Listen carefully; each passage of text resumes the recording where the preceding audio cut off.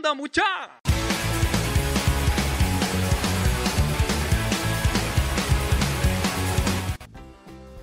¿Qué onda muchachos? ¿Cómo están? Espero que estén muy bien. Es lunes otra vez, tenemos otro tema, otro videoblog y el tema de esta semana es el siguiente. Antes, en la antigüedad, las cosas costaban un largo proceso. Había que esperar por mucho tiempo. Y como ustedes saben, al ser humano le cuesta esperar. El ser humano, por default, es impaciente. Ahora, gracias a Dios y la tecnología, todo es más fácil. Acá traigo algunas cosas que instantáneamente nos alegraron la vida. Y es que para algunos son muy obvias o muy simples, pero créanme, nos facilitaron la vida. Antes a las abuelitas les costaba un largo proceso el poder llevar nuestro rico café a la mesa. Ahora, el café es mucho más fácil.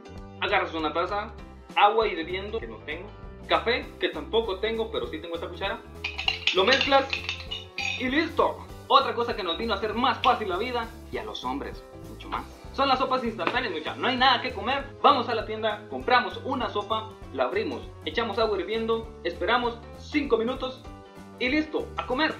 La tecnología vino a invadirnos y con eso nos hizo la vida mucho más fácil. Las fotografías para nosotros ahora no son ningún problema, pero en la antigüedad, en la antigüedad sí que eran un problema. Imagínate, tú comprabas un rollo de 24 fotos. Justamente cuando ibas a tomar la foto que deseabas, ¡pam! Se acababa el rollo. ¿Qué rollo, no? No digamos eso.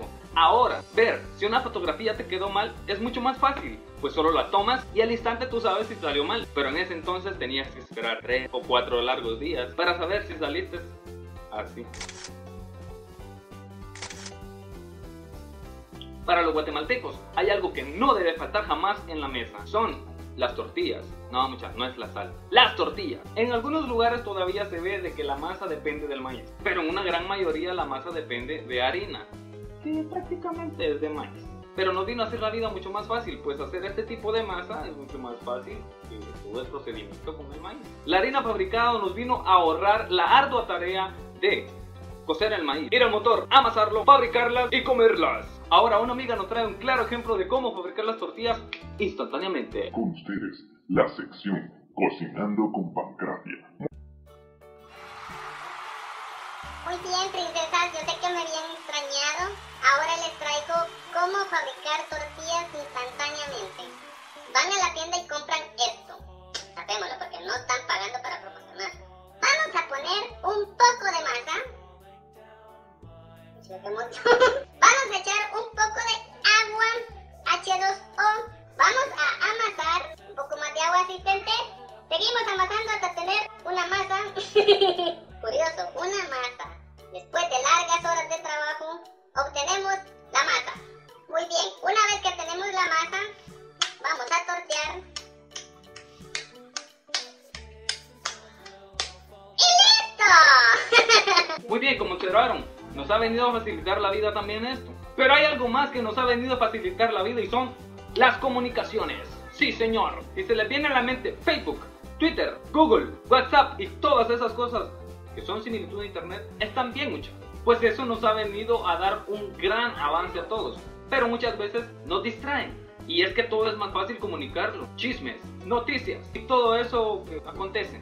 Con el crew de Kenda Mucha nos hemos tomado la tarea de averiguar qué es lo que piensa la gente de las comunicaciones y de lo instantáneo que es ahora comunicarse con los demás. Tenemos a nuestro corresponsal Cristian que nos está transmitiendo desde Wimpolandia. Muy bien, Cristian, contanos, ¿cómo estás? Hola, muy bien, gracias a Dios, aquí como siempre saludándolos. Sí, sí, decinos, ¿cómo te va ahí en Wimpolandia?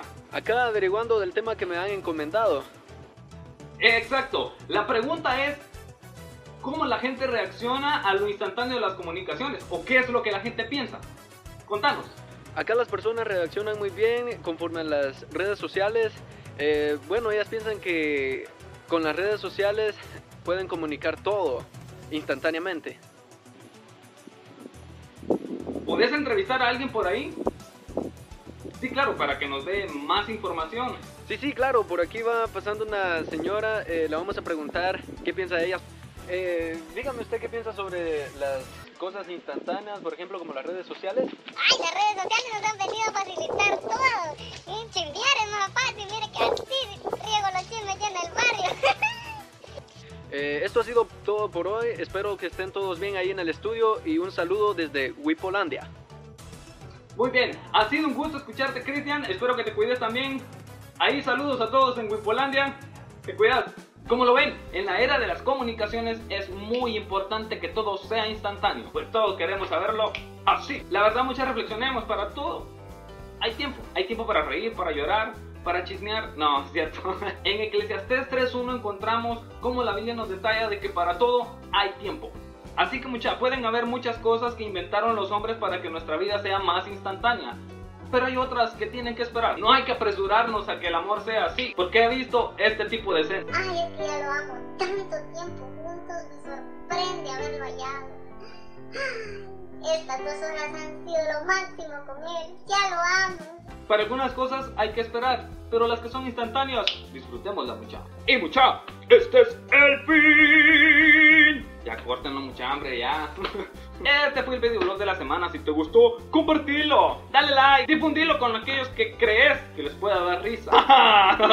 Subo video todos los lunes, mucha. Espero que les haya causado gracia, que se hayan reído un momento y que hayan olvidado sus penas, porque hay que dejarlas a un lado. Y hay que gozar de lo bueno de la vida. Si no te gustó este video, puedes ver los anteriores o tal vez te guste el próximo. Así que espero, dale like, coméntalo, difúndelo. Puedes encontrarme en mis redes sociales. Voy a dejar los links acá abajo de mi Twitter, mi Facebook, Instagram. Mentira, no tengo. y así espero que te la estés pasando muy bien. Bendiciones. Yo quiero mandar un saludo a todas esas princesas hermosas, esas princesas de Dios. Y les digo que no se dejen